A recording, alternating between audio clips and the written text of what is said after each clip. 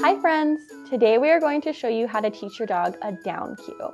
Here are a few of the products that we will use for this behavior.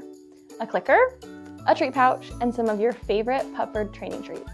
You can click the link below to shop.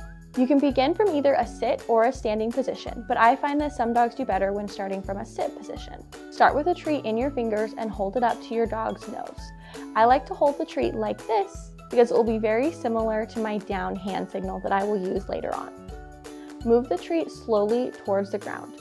Once you get it to the ground, slowly start to pull the treat back towards you. This will lure their nose down and their elbows will bend. Once they are in a full down position, click and give them a treat.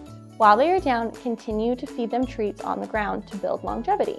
Once they're able to perform this behavior 8 out of 10 times, you can add in the verbal cue down. If your dog does not go all the way into the down position with the lure, that's okay, we can always shape the behavior.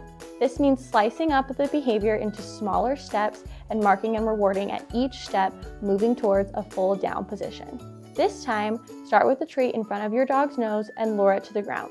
Click and treat for their nose just being on the ground. Once they can reliably do this, then you can increase the difficulty by luring their nose to the ground and then slowly guiding their head out.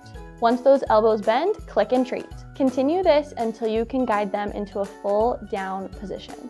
Once they can reliably perform a down cue, either through luring or shaping, you can begin to add in the verbal cue down.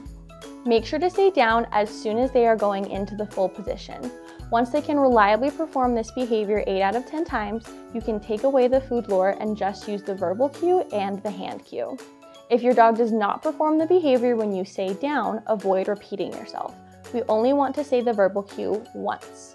Don't get discouraged, this is just an indicator that your dog needs to go back a few steps and try again. Eventually, you can begin to implement intermittent reinforcement and only give them a reward some of the time. Thanks for watching! Check out the next video to teach your dog a touch cue.